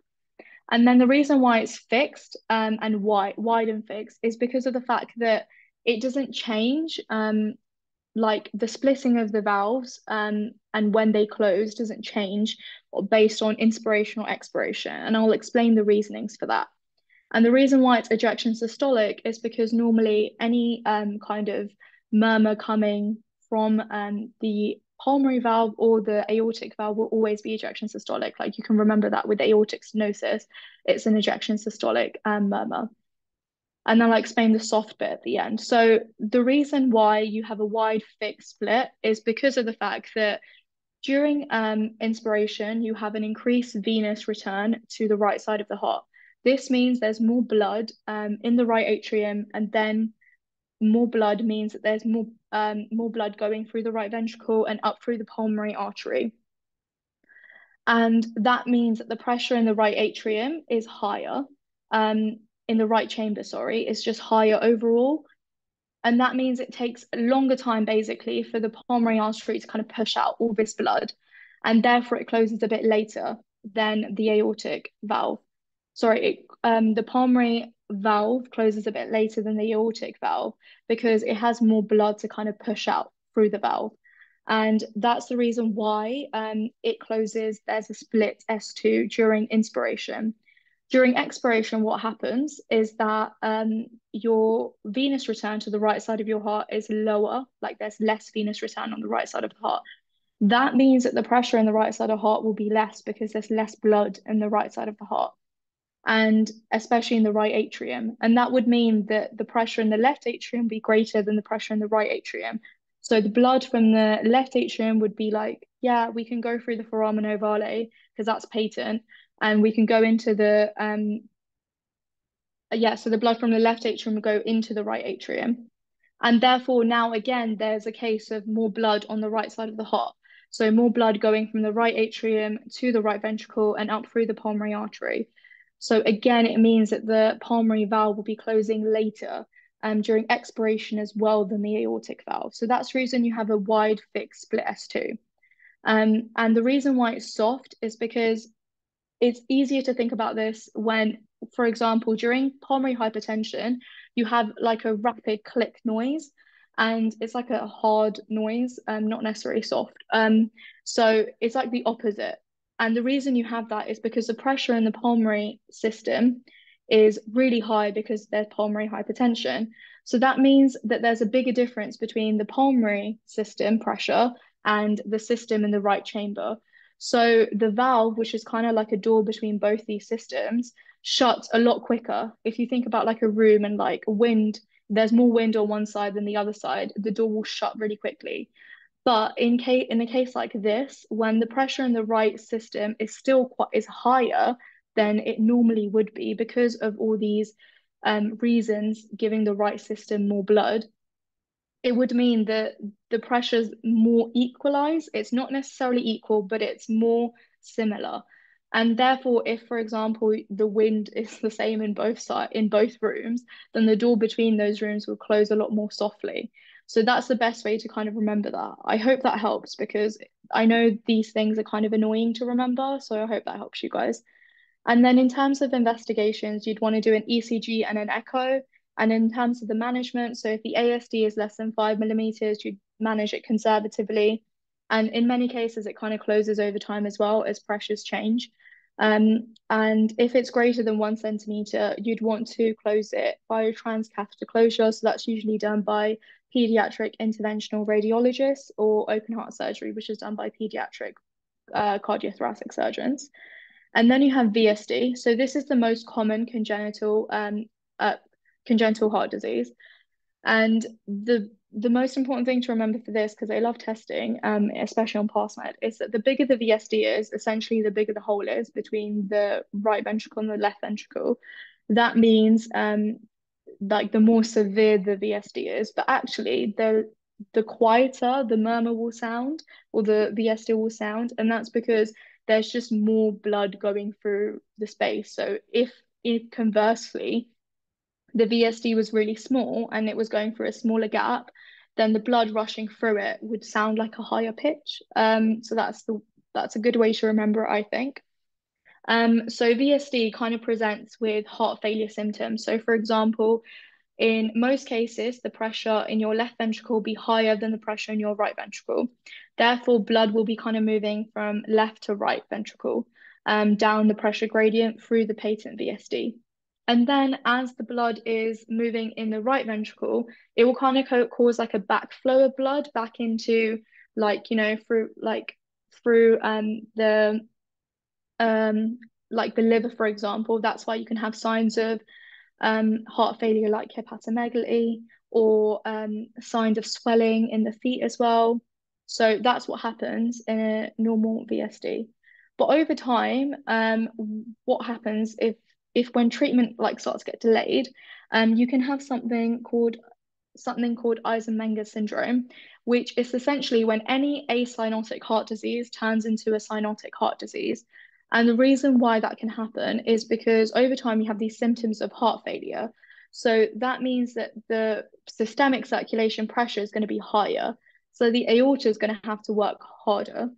And that will eventually mean that at one point, um, uh, there's going to be um, such a big shunt from the left side of the heart to the right side of the heart. Um, sorry, that's going to mean that eventually blood is going to go um, from the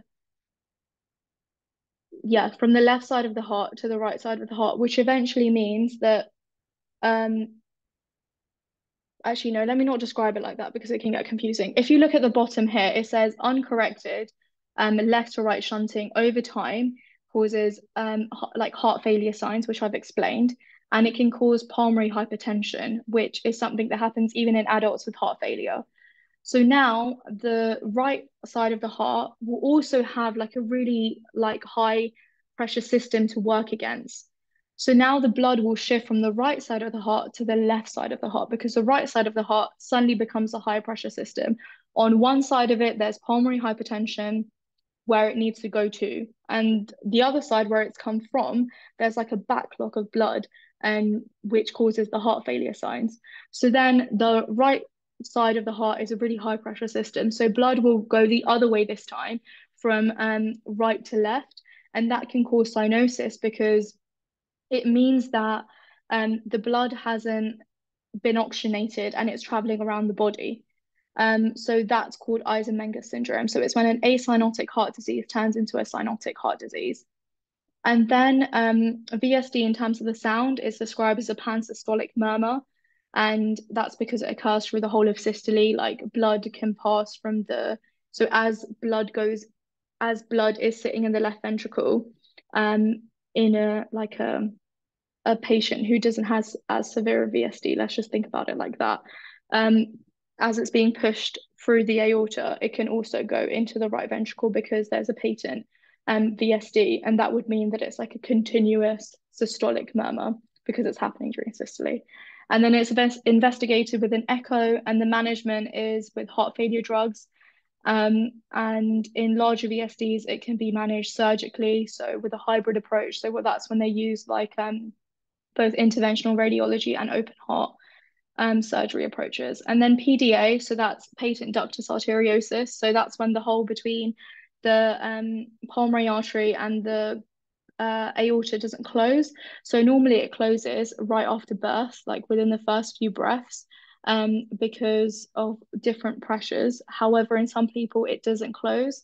And it can cause something called a subclavian thrill, and that's because the murmur kind of radiates to the left side of the sternum, and the artery there feels it and you can feel like a thrill. I mean, I've never felt it, but I'm just saying. Um, supposedly that's what happens. And then it's caused like a continuous machinery murmur because the blood can go from the aorta, which is a much higher pressure system than the pulmonary artery. Um, it can go from the aorta to pulmonary artery like any time. So it's just continuous. And it's often described as a machinery murmur. It's normally quite aggressive sounding. I do think it's quite obvious. Um, and then a bounding collapsing pulse, because normally the diastolic pressure is a lot lower than it would be for a normal person, which is why you also have a wide pulse pressure. Um, and it also means that the pulse will kind of compensate for a low diastolic pressure by um, being really like bounding and sharp. And you can also have a heaving apex beat eventually as well. So it's investigated with an echo. And normally a PDA, um, what is supposed to close it is NSAIDs. So NSAIDs kind of inhibit the action of prostaglandins. And um, NSAIDs manage to close this connection because prostaglandins kind of keep this connection open. So NSAIDs inhibit this and um, they close this connection. So um, the baby can kind of carry on and live their life. But yeah, so NSAIDs inhibit the action of prostaglandins and prostaglandins normally keep the PDA open. And at birth, there is supposed to be a production of like anti prostaglandins, but in some people that doesn't happen, which is why the PDA kind of remains open as well.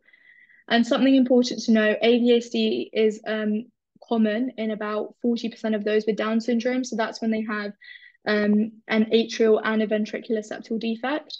Um, so it's like an important fact to remember. And then that second point, so if Eisenmenger does eventually occur and a cyanotic, acyanotic heart disease has turned cyanotic, um, it would eventually need to be fixed with like a heart and lung transplantation as well. So just keep that in mind. Okay, so cyanotic heart disease is only really two you need to know. The first one's tetralogy of Fallot. So that's a combination of four things. So we've kind of already spoken about stuff like this before, but it's a VSD and um, that and pulmonary stenosis and right ventricular heart right ventricular hypertrophy and then finally an overriding aorta. So it's a combination of all these four things. Um, so a VSD is what essentially causes the cyanosis. So in tetralogy of Fallot, because there is such high, um, because there is pulmonary stenosis, a lot of the blood from the right side of the heart can't get out. And that increases the pressure in the right side of the heart. And that means that a lot of blood goes from right to left. And it means that a lot of it isn't oxygenated and because it hasn't gone to the pulmonary system yet. And then because it's already gone to the left side of the heart, it'll end up going to the rest of the body without any oxygen attached to it. And it can present as like cyanosis in a child. And then pulmonary stenosis. So this is when there's like thickening of the pulmonary valve, and it can be either above the valve or actually valvular. In most cases, I think it's not actually at the valve. Um, but essentially, what it causes is it causes right ventricular outflow tract ob obstruction. So it's it's basically when the path of the right ventricle um, for the blood to flow out the right ventricle is kind of very narrow. Um, and we'll speak about TET, cell, TET spells in a bit.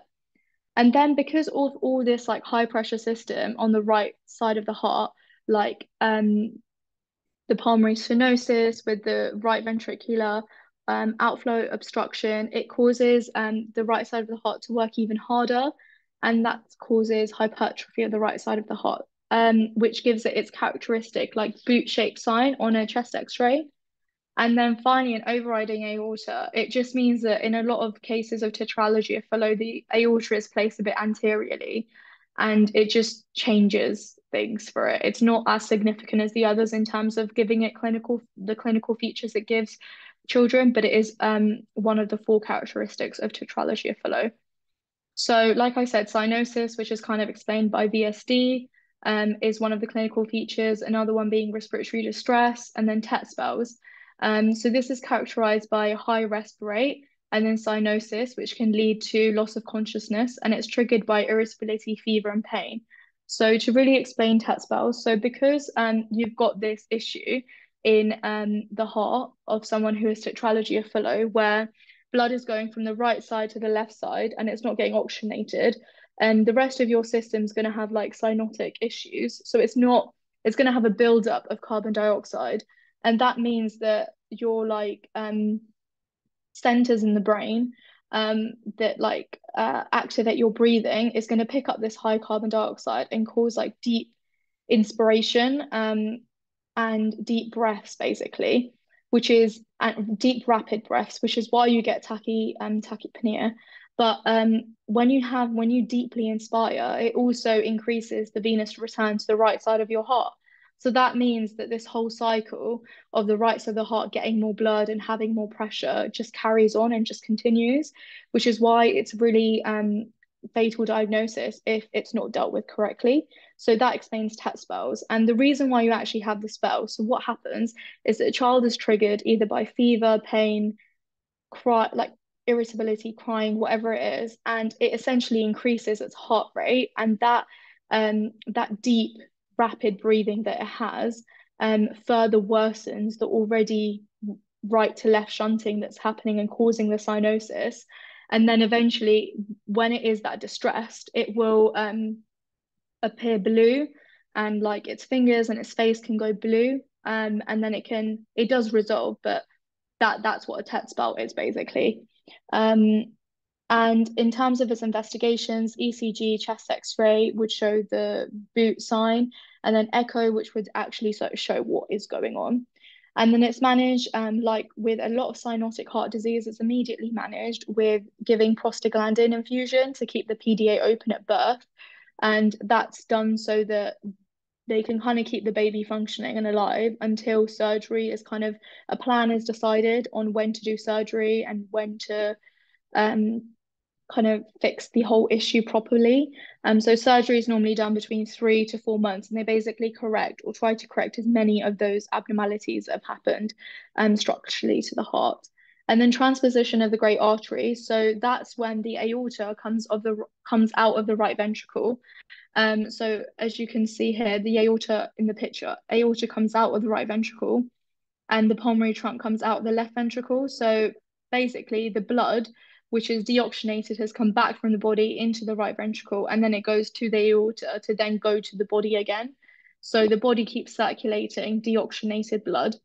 And on the left side of the heart, um, the blood comes from the lung oxygenated and in the hope to go to the body oxygenated, but it ends up just going back to the lungs and like, and the cycle just repeats. So it's got its two loops that kind of just go about and do the same thing, but they don't actually intersect like they should. And obviously, you'd have cyanosis because nowhere is getting any oxygen. Um, and you'd have um, tachypnea and a loud S2. And I'm guessing that's because of like pulmonary pressures being high as well. And same with aortic pressures, but I'm not exactly sure. And um, you'd also have a right ventricular heave because the right side of the heart has to work very hard um, to uh, like work against the aorta as well um, which has higher pressures. That's what I'm guessing, but I'm not really sure about that. And then in terms of the investigations, you'd want to do an echo, you'd want to do a chest x-ray that would show you an egg on a string sign. I don't really I don't really get it, but it is a bit it looks very different from a normal heart. And then like with tetralogy of Fallot, you'd manage it by giving prostaglandins to keep the PDA open, and then you do something called an arterial switch operation, usually between before four weeks. And then these are some of the low yield um, cyanotic congenital heart disease um, conditions. You don't need to know this. Um, I think that the only ones you really need to know are the, the two that I've spoken about, but they are interesting. Okay, uh, this is the last SBA.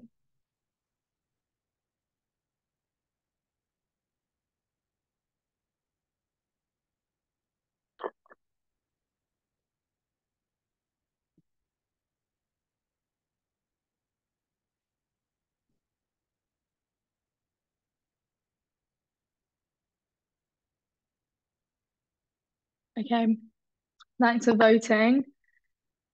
Um, okay, sorry. Okay, so the answer is actually D. I think this is really hard. Um, so basically, you just need to know the guidelines for this, and the guidelines are really tedious to remember, but they do question about see like head injuries quite a bit, and it is really important both in adults and in children. Um, so what really tells you here? So it's kind of categorized into a high risk feature. Um, so let me first go through this and then we can go back to the question. So this is you'd need to do a CT head within within an hour if you have any suspicion of a non-accidental injury, um, or if it was a post-trauma seizure. Um, only if they had that seizure and they don't have a background of epilepsy, then you'd want to investigate and do a CT head within an hour. If they have a background of epilepsy, then the post-traumatic seizure isn't really um, an important point. If their GCS is less than 14 um, at presentation, and if their GCS is less than 15 at two hours, if they have a suspected open skull or um, depressed skull fracture, so that's the same as adults, you do a CT head within an hour, or a sign of a basal skull fracture, same as adults again. And then focal neurological def deficit, you do an hour within a CT head as well, um, same as adults, I think. And then if they're less than one years old or they have swelling or a laceration of greater than five centimeters, and then these are your other kind of, you'd consider a CT head if you had, no, you do a CT head only if you had more than one of these signs. So loss of consciousness for greater than five minutes, abnormal drowsiness, three or more episodes of vomiting. I think in adults it's two, um, but we'll see on the next slide. And then dangerous mechanism of um, injury. So if it's like fall from a height greater than three centimeters, or a, like a high speed injury, or like a road traffic accident, and then amnesia for greater than five minutes. And if you only have one of these features, then you just absorb, observe them four hours and then do a CT head um, within an hour if observed and the GCS is less than 15 or have further episodes of vomiting. Now, if you go back to the question, this three-year-old, um, he, he presented two hours after the injury already. Um, he'd lost consciousness for 10 minutes, so that is greater than five minutes. Um, so if he has one other sign, um, then we can do CT head within an hour. He has vomited, but he's only vomited twice, um, and he needs to vomit three times. Um, and there have been no other episodes of drowsiness or loss of consciousness. So in this case, you'd observe the child for four hours, and then you would um, like look at GCS again, or if he has any other further episodes of vomiting. And if he doesn't, then you can discharge him home and safety net him. Um, but if he does, then you do a CT head within an hour, if that makes sense. And then this is how it compares to adult guidelines. Um, you guys can kind of look at it this in your own time.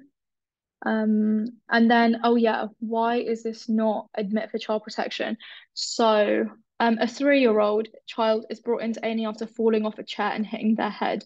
So a three-year-old child, yeah, I can imagine that happening. Three-year-olds are very adventurous, and I can imagine them sitting on a chair they are able to get to a chair by themselves uh, as well and they can also like fall off. The when i would start suspecting um child protection assessment is when they're they're doing something and the development at that age doesn't match up. So for example if they were one years old and they um or like six months old and they fell down the stairs because the mum said, oh, they were like walking down the stairs and they fell, I'd be like, that doesn't make sense because most six months old can't walk, they can crawl. Um, but like you'd look out for signs like that. It'd be quite obvious if it was admit for child protection anyway, because it'd be a really young age and they would have quite a, they'd be, um, the mum would say, or the parent would say that they're doing quite an advanced um, development thing, which most kids don't do at their age. So then you'd be like, okay, something's not adding up. And that's when you'd want to admit them for child protection assessment. Um, so I hope that helps um, kind of figure out why it's not that. But it's really good you thought about it. It should always be at the back of your mind um, because it's really important and it can often be missed. Um, so yeah. Uh, and then this is just GCS in children. I don't think it's that different.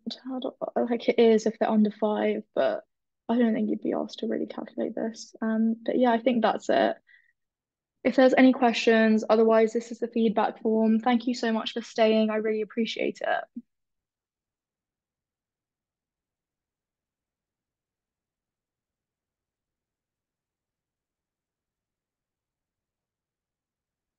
Thank you.